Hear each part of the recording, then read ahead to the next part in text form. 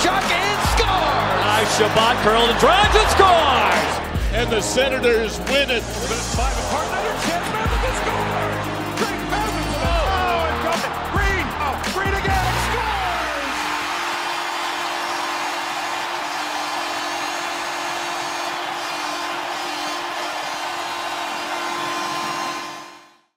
Welcome to Sens Talk. My name is Brandon, and I'm your host. Now, before we get started, please follow us on Twitter at SensTalk underscore and on Instagram at Sens Talk. As well, go to SeatGeek.com and use the promo code SensTalk. You'll save 20 US dollars off your first purchase. Now, last Friday and Saturday, the 2021 National Hockey League draft occurred, and as usual, the draft experts and uh, quote unquote uh, the hockey draft community uh, had a lot of criticism towards the Ottawa Senators this past weekend because of multiple reaches in the in the late rounds, uh, multiple reaches throughout the draft, and a quote unquote failed draft by the Ottawa Senators. Now it's funny that these draft pundits and quote unquote draft experts say that uh, because last year and years previous to last year, the the draft experts continually always say the Ottawa Senators fail in the draft. They always give them an F uh, rating, and they always say that the Senators reached on players and missed value. Well, guess what? Reaching on those players, that turned into a Shane Pinto. That turned into an Alex Formenton. That turned into a Drake Batherson. I could go through the whole list. So this year, the, the draft experts, the whole dr- online draft community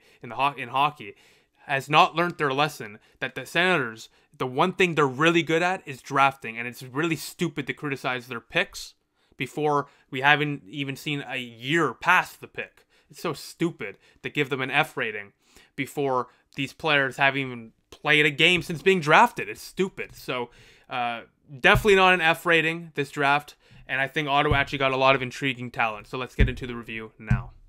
So in the first round, 10th overall, the Ottawa Senators selected right winger Tyler Boucher out of the United States Developmental Program. Now, Tyler Boucher stands at 6 foot 1, 205 pounds, and last year with the program, he played in 12 games, securing 6 goals, 5 assists, 11 points total, and 22 penalty minutes. Now, Tyler Boucher is a high energy power forward, similar to Tom Wilson or Josh Anderson in the National Hockey League, and he perfectly fits the scheme here in Ottawa. Boucher is known for his physicality, as you won't watch a game featuring him without seeing him crunching an opposing player into the boards or onto the ice he's often at the right place at the right time, which results in a lot of net front goals for Tyler Boucher. Sound familiar? Cough, cough, Brady Tkachuk, cough, cough, Ottawa Senators system. Now, Boucher also isn't afraid to shoot, which is great, and is a quote unquote crafty shooter, according to elite prospects. Now, the online draft community, as I touched on early earlier in today's video, absolutely lost their minds when the Ottawa Senators made the selection at 10. And some of these uh, draft pundits are actually still losing their minds, even though it's been confirmed by multiple reporters that if Ottawa did not take Tyler Boucher at number 10, a, a team a few slots below them would have taken them uh, in the mid teens. So obviously, Tyler Boucher was not a reach here, and I think Tyler Boucher likely would have been a top 20 pick, a consensus top 20 pick, if he stayed healthy this year. This really could be a steal for the Ottawa Senators, and he also fills a need at right wing in the organizational depth chart as well. And I honestly think Tyler Boucher, with his physicality, his good state, his good skating abilities, and most importantly of all, his good hockey IQ, his ability to crash to the net, be at the right place at the right time, I think he projects as a top six winger for the future for your Ottawa Senators. Now let's get to the next pick in the second round.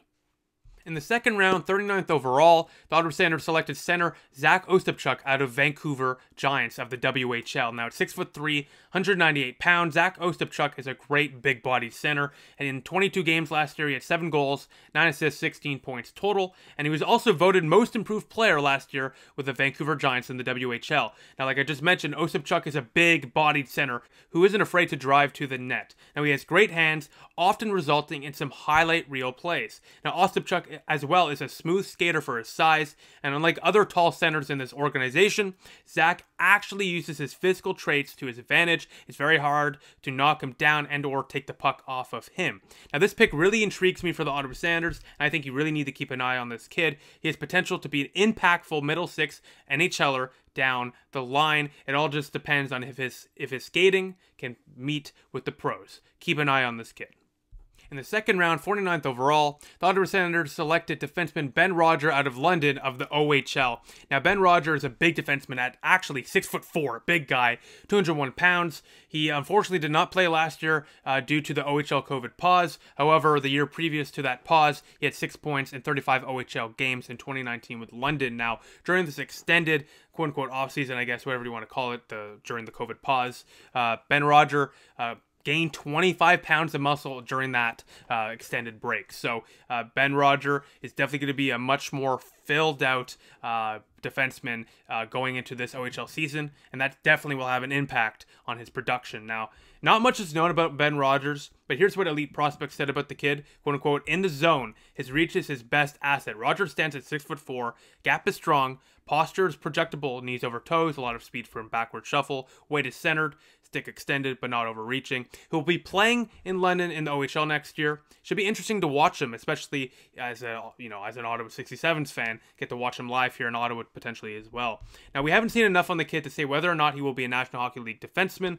However, it should be interesting to watch him this year, and the size that he has definitely gives him uh, an advantage, uh, or definitely increases the odds, anyways, of him maybe being an NHL defenseman down the road. Let's just see if he can put all the tools together. Let's get to the next pick.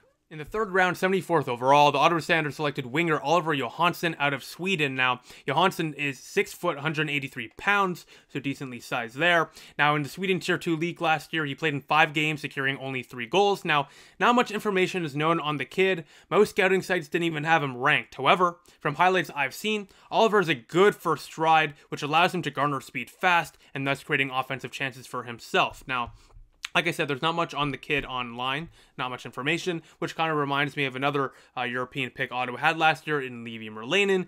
Look how that turned out. He's now one of the best uh, goaltending prospects uh, Ottawa has, and he's even going to be starting for Finland, I believe, at the World Championship. So, hey, you know what? Less information seems like the better for if you're an Ottawa Standard fan with these picks. But here's what Dobber Prospects wrote about Johansson. Johansson is a winger with good poise and patience. He's very confident on the puck and doesn't shy away from going straight to the net. His skating is good, albeit not spectacular. He's quick getting uh, to his top speed, but isn't it isn't remarkable. He has a good motor and works hard all game long.